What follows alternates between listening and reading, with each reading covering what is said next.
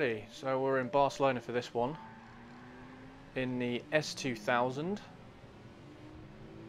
Let's see what we can do here. Again, it's not the biggest track, but they are getting a little bit bigger, I think. Go around the inside of that nicely. There's the Dino. So this was called Classic Grudge, so I'm guessing... Are we in more classic cars? I guess the S2000 is kind of classic. Quite old at this point, but it wasn't when the game came out, I don't think. But the other cars are certainly classic at this point. So maybe that's what they're talking about. Right, we've got to catch these two in front. They're going pretty quickly. And this thing handles way better than anything I've driven so far. Then it gets spun out by the Toyota. So what's that? Is that the Jag E-Type and... Right, that was awful. Struggling with traction there as well. Gone to two seconds behind now. This isn't so good. Right, I need to get used to this handling of this car because it's quite a bit better than what we've been using. So is that the Lancia right in front? Two seconds ahead now. This isn't looking too good.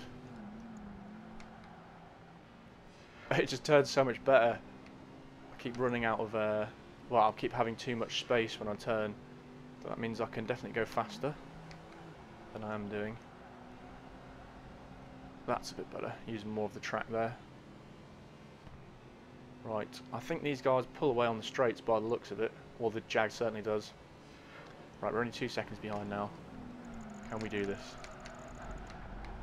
Getting a unintentional drift going there. Right, here we go. Around these corners is where we're going to make some of the time up. I always struggle with this section. So difficult, and that Jag's having a bit of trouble there. You alright, mate? Can't get around that corner. Let's just go around the inside of you here. There we go. Now... Oh, I thought that was the last lap then. Got another lap, luckily.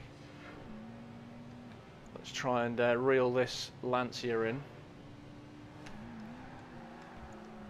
Assuming it's the Lancia, yeah. It is. It's the Stratos. Come on. Let's do this on the inside. We can do it. There we go. Look at that. Very nice.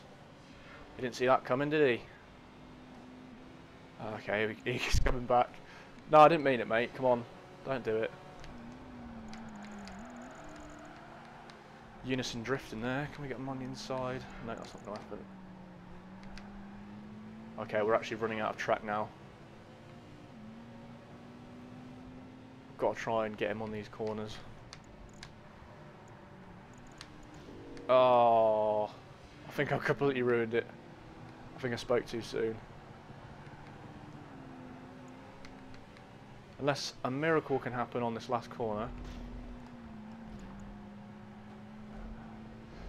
Oh dear, that was my own fault. I shouldn't have trash talked him. If I'd have just been nice to him, he might have let us win there.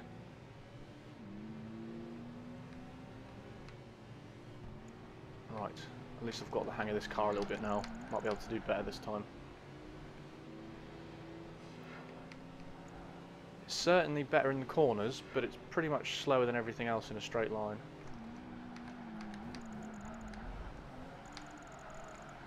Uh, that's not what I wanted to happen. I was going for the overtake on the inside, that didn't really pay off that time. And that Jag is miles ahead.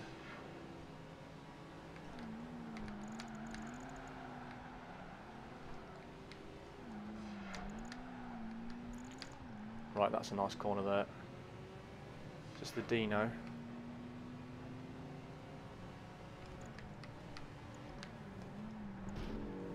Oh, I was just about to say that was going to be a nice corner there, but uh, we sort of ruined that.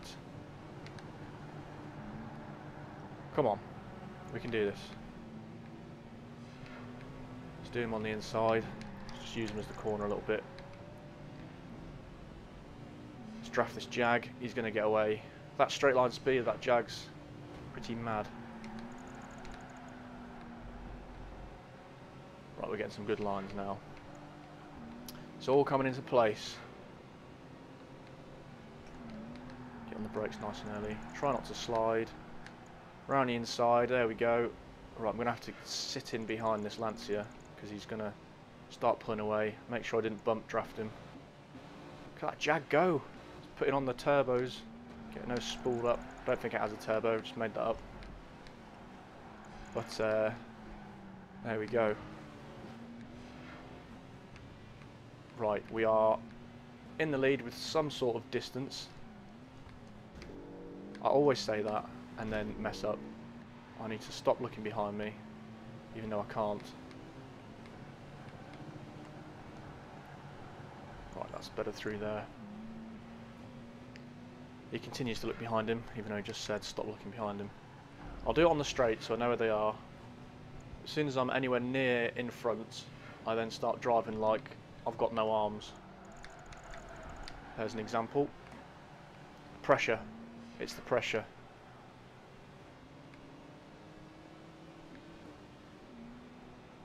Right, early on the brakes here. and I did that a bit too soon. Started to uh, oversteer a bit there. This is one of the only cars I've driven that actually sort of oversteers a little bit. Steers too much in, more than you expect. Which is probably easier to... There we go, there was another example. Probably easier to um, to live with than understeering cars. But you just got to get completely used to it. Right, the Lancia's right behind us again. He's going to try and take revenge. There he comes. Oh, just about managed to not hit the barrier there. Let's go out nice and wide, whip that in, off the accelerator a little bit, there we go. Much better around the corners than that Lancia is, luckily. Right, second attempt, that was done there. That was actually a little bit more challenging.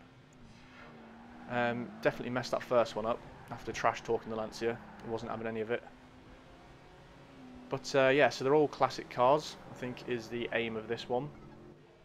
It must be modern-ish against classic, and then it must swap around. But anyway, on to the next one.